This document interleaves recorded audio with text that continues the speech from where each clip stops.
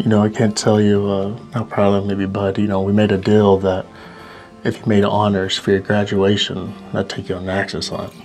So we're out here sitting in the stand, and we just had a. It went from nothing to just a field full in about 20 minutes. I've never seen this much action whenever it came to Axis bucks, you know. And then uh, all of a sudden this beautiful black sable came out.